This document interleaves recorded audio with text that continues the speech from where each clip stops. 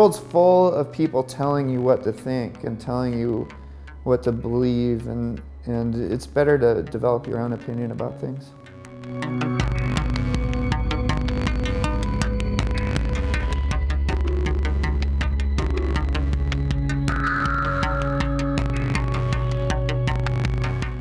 Skateboarding, like, it's about being independent. It's, it's about creating your own style. It's about like being an individual, you know? Being outsiders, but influencing culture like in a totally unique way.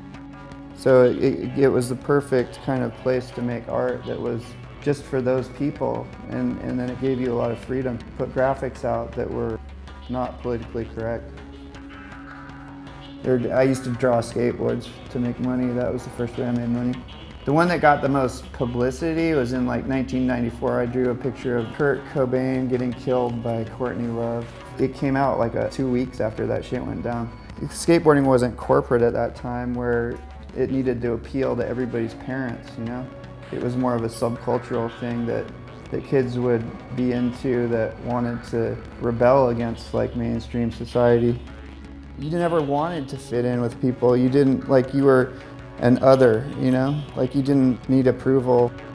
My motivation to make work has always been to just do exactly what I want. I was always drawn to kind of work that was like of the moment and that spoke to the world as we know it in a true way.